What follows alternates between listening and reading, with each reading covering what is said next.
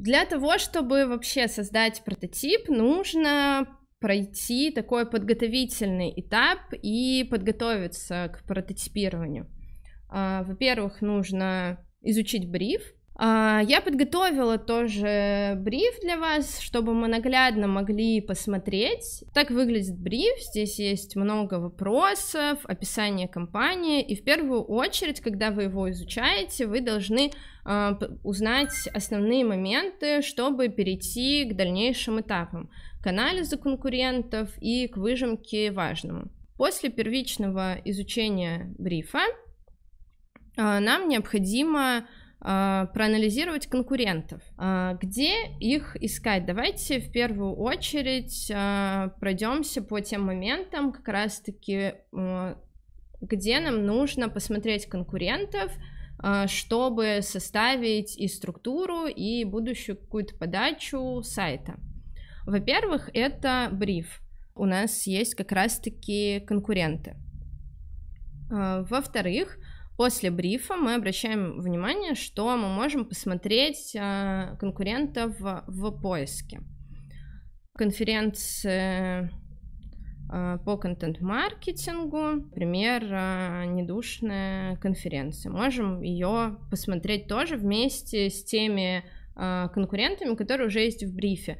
Также помимо поиска Яндекс, Google и брифа можно посмотреть конкурентов на Made on Tilde, то есть там выкладываются лучшие работы, и так как мы создаем сайты на Tilde, мы часто обращаемся а, в эту подборку, а, чтобы посмотреть а, сайты именно конкретно в тильде. А, также можно обратиться к рейтингам и подборкам. Есть подборка 10 нескучных ежегодных конференций по диджитал-маркетингу, то есть оттуда можно было бы тоже взять конкурентов и их а, проанализировать. Как вот всю информацию, которую вы получили благодаря анализу конкурентов, как ее вообще оформить. Как правило, оформляются такие таблички, а, где прописываются конкуренты, прописываются их сильные стороны, а, слабые стороны, стоимость, спикеры и прочие ключевые моменты,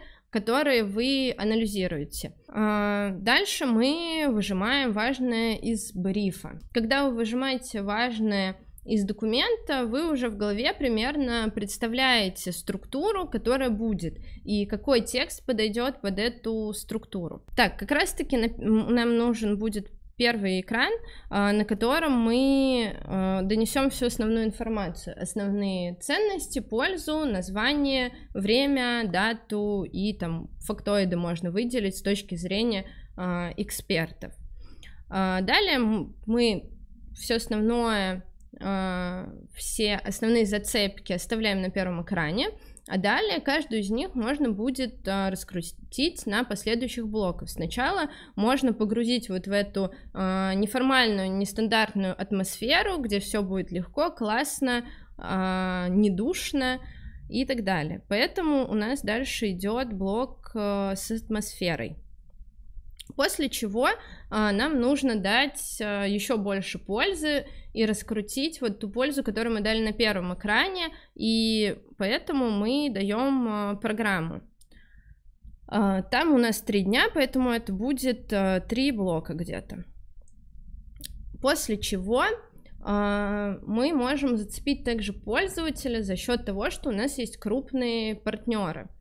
А, и Таким образом, вызвать доверие, а, чтобы человек, пользователь нашего сайта, а, захотел пойти на эту конференцию а, не только потому, что ему нравится эта тема и эксперты, а потому что он доверяет этим компаниям, там, свое развитие и свое обучение. У нас идут партнеры. И после чего, я думаю, что у нас будет такой сегодня короткий лендинг, можно будет дальше, конечно же, э, докрутить какие-то еще ценности и пользы, э, но мы, я думаю, на этом уже закончим и сделаем какую-то форму захвата в конце еще. А, чтобы те пользователи, которые долистали лендинг до конца, тоже могли оставить свои контактные данные. А, учитывая эту структуру, нам, конечно же, важно, что у нас есть контент-бранч, мы можем выделить эту информацию. А, важно, что он для всех в digital, Дальше информация про бранч, про контент-маркетинг, что это такое, она не нужна. Uh, у нас целевая аудитория со всем этим знакома.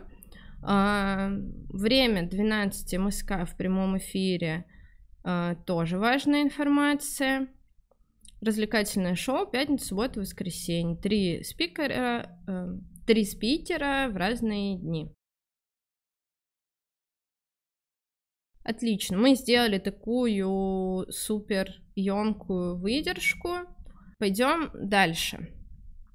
А, во-первых, пока мы не приступили непосредственно к разработке самого прототипа, давайте зафиксируем ключевые моменты а, подготовки к прототипированию. А, первое это изучение брифа. Повторюсь, что его нужно внимательно изучать, минимум три раза, выделять важное – и вообще погружаться во всю эту историю. А, проводите анализ конкурентов обязательно, а, смотрите на вообще чужие работы, чужие примеры, смотрите, кто как делает. Это помогает сформировать насмотренность и уже в дальнейшем понимать пользовательские пути и какие-то решения намного лучше, когда у вас будет уже такая сформированная база насмотренности, то вы будете проще как-то составлять структуру, проще продумывать пользовательские пути, потому что вы будете уже а, брать какие-то готовые решения и понимать, что они подходят под конкретную а, ситуацию, под конкретную задачу, которую вам нужно решить, или наоборот, а, все, что вы знаете, не подходит, и нужно там продумывать новый какой-то подход, чтобы продать или там презентовать тот или иной продукт на сайте. А, отсекайте воду незначительную информацию, да, я это уже проговорила тоже, и фиксируйте все важные моменты и наблюдения в документах выделять информацию, копировать себе куда-то в заметки и вообще сохранять э, себе, чтобы вы вот с этим багажом знаний, которые вы получили во время подготовки к прототипированию, э, могли уже идти по дальнейшим шагам.